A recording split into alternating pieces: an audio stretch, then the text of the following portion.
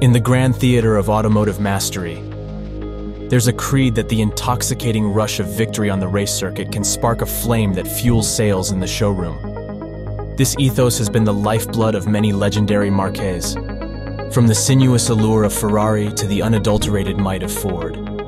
It's the conviction that the adrenaline-fueled ecstasy of motorsport can be seized, distilled, and then set free on the open road.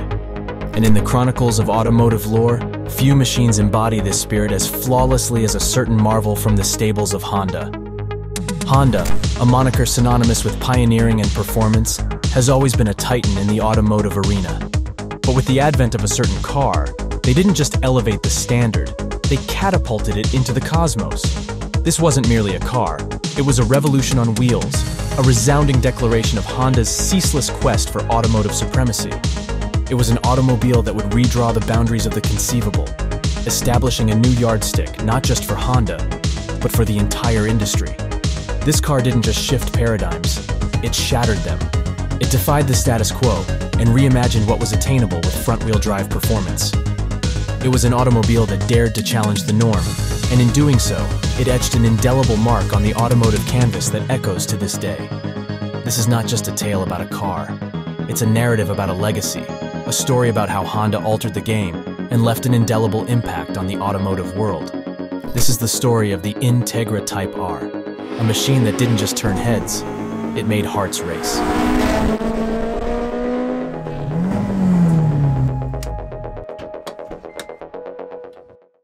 In the heart of the 90s, the world was in a state of flux. The Cold War had ended, the internet was just beginning to weave its web around the globe, and in the world of automobiles, innovation was accelerating at a breakneck pace. The year was 1995, a time when the Tokyo Auto Show was a spectacle that drew 1.5 million visitors, hungry for a glimpse of the future on four wheels. In this bustling arena, Audi unveiled the TT, a car that would become a design icon. It was also the final curtain call for the NSX Type R, a machine that had left an enduring legacy in the world of high-performance automobiles. Amidst these giants, Honda was preparing to debut the SSM, a roadster that would later evolve into the S2000. For a deeper dive into the evolution and impact of the S2000, be sure to check out our dedicated video on this iconic model. But there was another star waiting in the wings, ready to make its grand entrance. This was not just another car, but a comet that was about to streak across the automotive cosmos. This was the DC-2, emerging not merely as a car, but as a phenomenon in the Japanese domestic market. This wasn't just another car rolling off the production line. It was a seismic shift, the birth of a legend. From the moment the curtain was lifted, the DC-2 demanded the spotlight. Its sleek silhouette and predatory posture were a testament to Honda's unwavering dedication to performance and aesthetics. But the DC-2 was not just a beautiful facade. Underneath its striking shell pulsed a heart of raw power, ready to shatter the glass ceiling of what was deemed possible. The reverberations were immediate and far-reaching. The DC-2 didn't just turn heads, it spun the entire industry on its axis. Critics were left speechless, Competitors were left in the dust, and drivers. Drivers were left with a thirst that could only be quenched by the adrenaline rush of the DC-2. It was a bold proclamation from Honda, a manifesto of their ambition to push the envelope of performance. And the world was on the edge of its seat, watching, waiting, eager to witness the feats this new challenger could achieve. It was a symphony of design, a ballet of form and function that mesmerized all who beheld it. The front end was characterized by its distinctive headlight design, a signature feature that immediately set the DC-2 apart from the crowd. The low, wide stance exuded an aura of raw power and agility, while the streamlined aerodynamic profile hinted at the car's impressive speed capabilities. The DC-2's design went beyond mere visual appeal. Each line, curve, and detail was thoughtfully crafted with a focus on performance. The lightweight body, the aerodynamic form, the strategically positioned air intakes. All these elements conspired to enhance the car's speed, handling, and fuel efficiency. The result was a car that didn't just look fast, it was a blur on the horizon. A car that didn't just turn heads, it made hearts skip a beat. The DC-2's design was a perfect marriage of form and function. a testament to Honda's philosophy that a car's aesthetics should not be an afterthought, but an integral part of its performance. This commitment to design was a key factor in the DC2's immediate acclaim and enduring appeal. It wasn't just a car, it was a masterpiece on wheels. Underneath the chiseled hood of the DC2 resided the beating heart of this automotive beast, a shining example of Honda's engineering wizardry. The 1.8-liter DOHC VTEC inline four-cylinder engine, affectionately known as the B18C, was more than just a power plant. It was the very soul of the DC2. The B18C was a marvel of engineering, a symphony of metal and motion that transformed fuel and air into raw, unadulterated power. Its dual overhead cam design and Honda's revolutionary VTEC system allowed for a high-revving, high-output engine that delivered a driving experience that was nothing short of exhilarating. The engine was capable of producing an impressive horsepower, a clear demonstration of Honda's dedication to performance. Similarly, the B18C was not simply a source of raw power. It represented a delicate balance, a symphony of strength and efficiency. The VTEC system allowed for variable valve timing, optimizing performance at both low and high RPMs. This meant that the DC2 could deliver blistering speed on the open road, yet remain docile and efficient in city driving. The B18C was also a clear demonstration of Honda's dedication to reliability. Despite its high performance, the engine was designed to withstand the rigors of daily driving, providing a level of durability that was rare in such a high-performance car. The result was a car that delivered an exhilarating driving experience. A car that could go from docile to ferocious at the drop of a hat. The DC2's engine mirrored the essence of the car. Potent, efficient, dependable, and above all, exhilarating. From the moment you slipped into the driver's seat, gripped the wheel, and ignited the B18C engine, you were not merely driving, you were embarking on an adventure. The car was a symphony of speed and precision, a ballet of power and control. The handling of the DC-2 was nothing short of extraordinary. The car responded to your every command, moving with a precision and agility that transformed every twist and turn into an exhilarating dance. The steering was sharp and responsive, the suspension firm yet forgiving, striking a perfect balance between comfort and performance. The DC-2 was a car that didn't just follow your directions, it eerily preempted them. But don't just take our word for it. Renowned automotive journalist Jeremy Clarkson once said, The Type R is a car that makes you feel like a better driver. The thrill of the VTEC kicking in, the surge of power as the revs climb, the sensation of the car hugging the road as you carve through corners. These are experiences that have left an indelible mark on those who have had the privilege of driving the DC-2. Another testimonial comes from Keiichi Tsuchiya, often known as the Drift King, who spoke of the pure joy of driving the DC-2 of the connection between man and machine. These are not just cars, they are experiences, memories, and moments of pure, unadulterated joy. It's a car that doesn't just move, it dances. It doesn't just accelerate, it fucking leaps. It doesn't just drive, it sings. And for those fortunate enough to experience it, the song of the DC2 is one that echoes in their hearts long after the drive is over. The car was a damn titan on the racetrack. Its badassery in motorsport is a key chapter in the DC2's epic saga. From the moment it strutted its stuff on the racing circuit, the DC2 made damn sure everyone knew it was there. Its cocktail of power, precision, and durability made it a force to be reckoned with, a car that could go toe-to-toe with the best of the best. The DC2 didn't just show up to races, it owned them. One of the most badass achievements of the DC2 was its success in the Japanese Touring Car Championship, the DC2's performance in this cutthroat series was nothing short of mind-blowing. It didn't just win races, it did so with a consistency and reliability that left its competitors eating dust. The DC2's legacy wasn't confined to its trophy collection.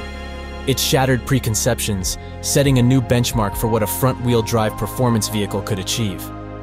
The DC2's success shook up the status quo and inspired a new generation of racers and engineers to push the envelope. Motorsport legend Ayrton Senna once said, Racing, competing, it's in my blood. It's part of me. It's part of my life. This sentiment was the lifeblood of the DC-2. It was a car that lived for the thrill of competition, a car that was born to race. The DC-2's triumphs in motorsport bolstered its reputation and cemented its place in automotive history. The machine was a catalyst, a spark that ignited a revolution in the world of performance vehicles. Its influence rippled far beyond its production years, shaping the design and engineering of subsequent Honda models and leaving a permanent mark on the automotive industry. The DC2's legacy can be seen in the DNA of every performance car that Honda has churned out since. From the Civic Type R to the NSX, the spirit of the DC2 lives on, its influence evident in every line, every curve, every roar of the engine. But the DC2's legacy isn't just about the cars that followed in its tire tracks. It's about the people who drove them. The DC2's enduring popularity among enthusiasts is a testament to its impact. It's a car that captured the hearts and imaginations of drivers around the world, a car that continues to inspire a sense of awe and admiration. Car enthusiast and journalist Matt Farah once said, the DC2 Type R might be the best front-wheel drive sports car ever, this sentiment is echoed by countless enthusiasts who have experienced the thrill of driving a DC-2. In the twilight of the DC-2's reign, a new day was dawning. The torch was being passed, and the stage was being set for the next act in the Integra Type R drama. The dawn of the new millennium was a time of great anticipation and change. The world was stepping into the digital age. The internet was rapidly transforming the way we lived, and in the realm of automobiles, the pace of innovation was relentless. The year was 2001, a time when the Detroit Auto Show was a spectacle that drew millions of visitors, all eager for a glimpse of the future of automotive design. In this vibrant setting, BMW unveiled the Mini Cooper. Mini Coopers suck.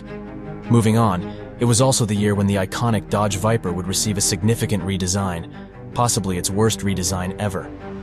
Amidst these manufacturers, Acura, Honda's US domestic market's luxury division was gearing up to introduce a successor to the legendary DC2 that would carry forward its legacy. This was the RSX, stepping onto the stage not merely as a car, but as a new chapter in the Type R saga. This wasn't just another model rolling off the production line, it was a bold leap forward, the birth of a new legend. As the curtain lifted, revealing the striking silhouette of the DC5, it was clear that a fresh narrative in the Type R story had been written, it was a resounding statement that Honda wasn't about to rest on the laurels of the DC2's success. They were determined to push the boundaries even further. The excitement surrounding the DC5 was palpable. The world had experienced the prowess of the DC2, and they were eager to see what Honda had in store with the DC5. It was the next step in the evolution of the Integra Type R. It was a machine that bore the legacy of the DC2, but with fresh eyes and a new dream. It was a beast that pledged to push the envelope even further, to catapult the Type R to dizzying new heights. The buzz was electric. The world had gotten a taste of what Honda could whip up with the DC2, and they were salivating for the next course. The DC5 was unveiled amidst a whirlwind of fanfare, and the initial reactions were a resounding chorus of approval. The car world was humming with anticipation, itching to see this new challenger in the ring. The year 2001 was a landmark in the automotive timeline. It was the year that the DC-5 made its grand entrance in Japan, heralding a new epoch for the Integra Type R.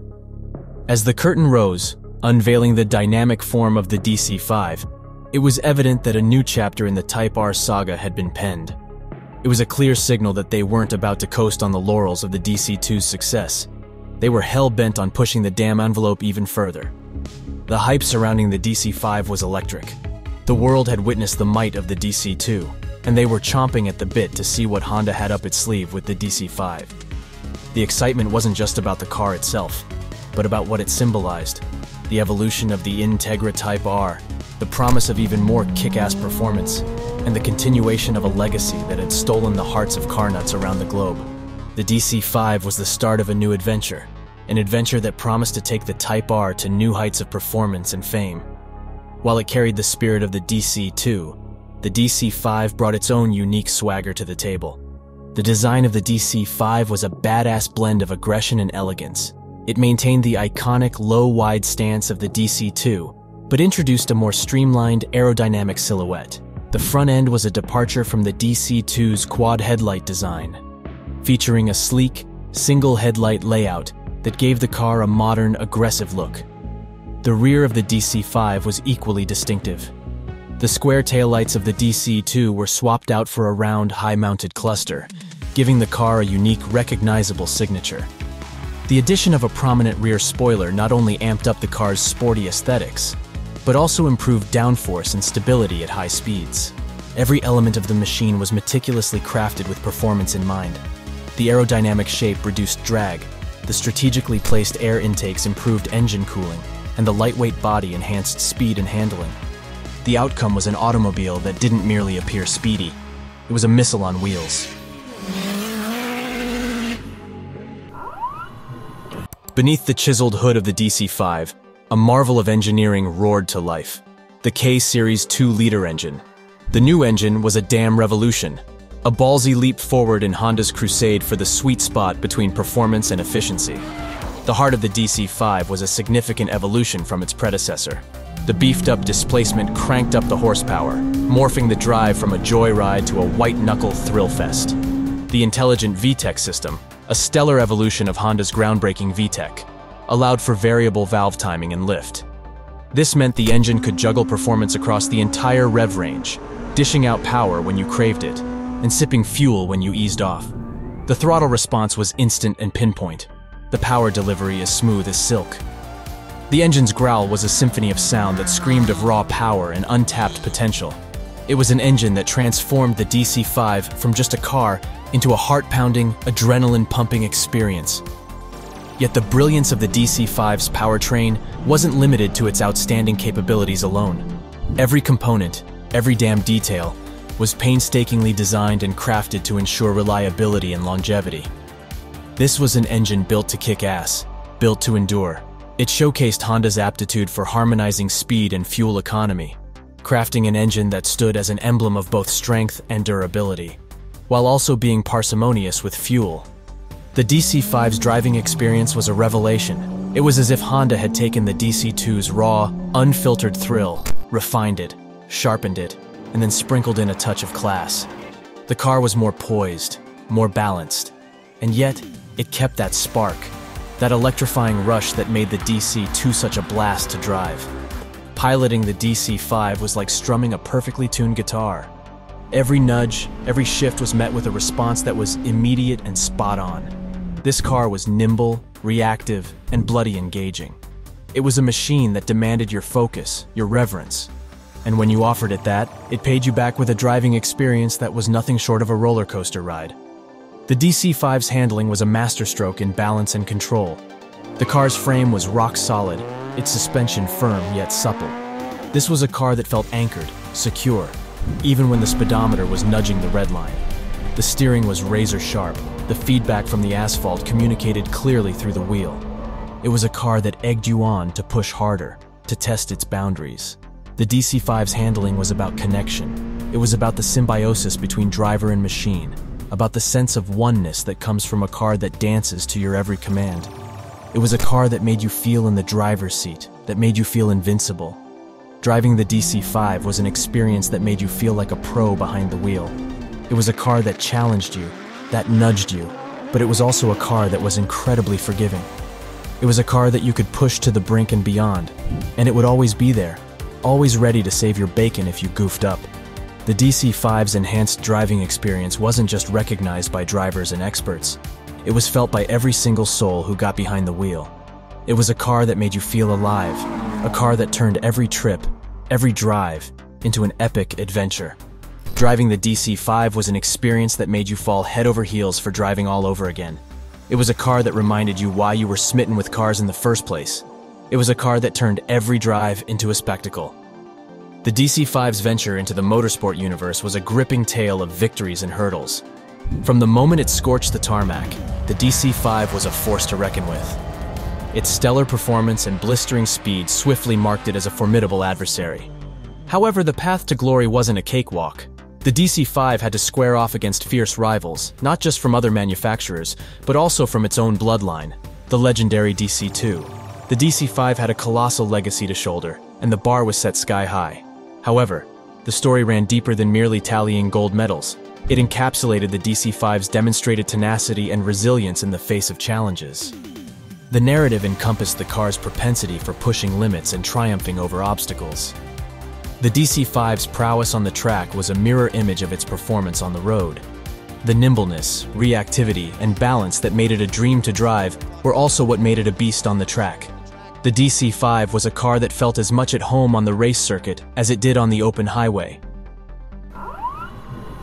Behind the DC-5's motorsport success was a crew of dedicated individuals.